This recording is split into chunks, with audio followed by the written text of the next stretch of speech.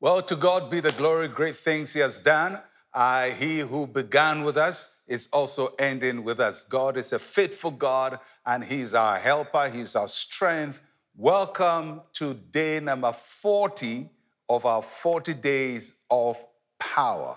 40 days of waiting on the Lord, trusting in the Lord, praying, fasting, seeking the face of the Lord. And as we have sought for him, we have found him. He says, You will find me if you seek me with all your heart. And I trust that your heart has been after the Lord and you have found him. You have found him to be faithful and to be true.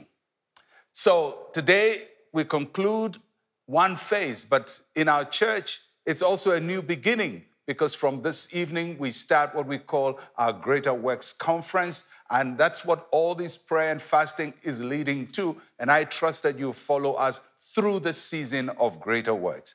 So, throughout this week, I'm going to be sharing on things related to greater works because God wants to do great things with us and through us. So, we go to a pivotal scripture in John's Gospel, chapter 14, and verse number 12. Most assuredly, I say to you, he who believes in me, the works that I do, he will do also, and greater works than these he will do because I go to my Father.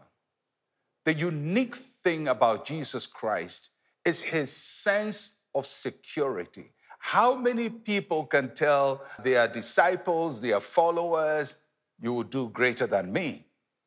Jesus Christ is not just about being one person who does great things, but he tells his disciples. And he's not just telling the disciples present at the time he's speaking, he's talking to all those who will come to believe in him.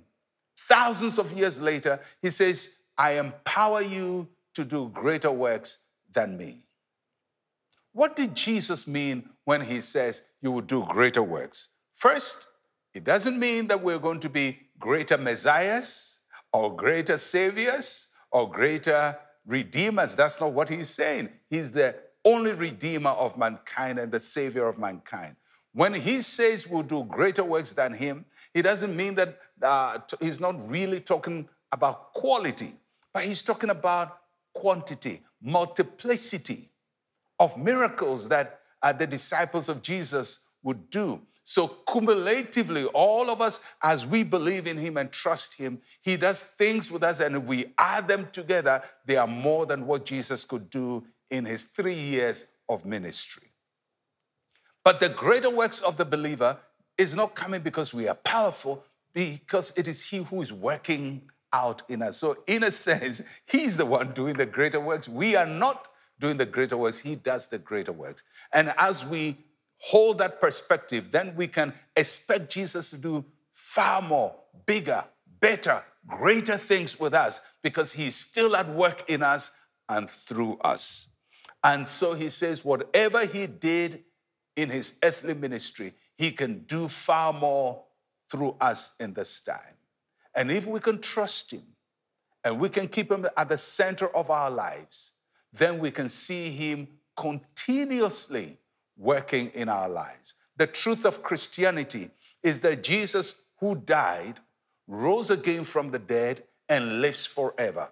And the living Jesus is also a working Jesus. He works with us, He works through us, and He performs the works of the Father through us. So, in this season, may Christ Jesus work for you, through you, with you. And may He do greater things than you have ever envisaged. May you experience an anointing upon your life you've never experienced before. May you see his power that you've ever seen before. May you taste and see that the Lord, he is good. Let us pray. Say with me, Heavenly Father, thank you for all that you have done. Make my life an extension of your works. In Jesus' name, amen and amen. It's time to experience greater works for God. Thank you for joining us throughout these 40 days of power. I'll catch you again tomorrow. I'm Pastor Mensa Otabil. Shalom, peace, and life to you.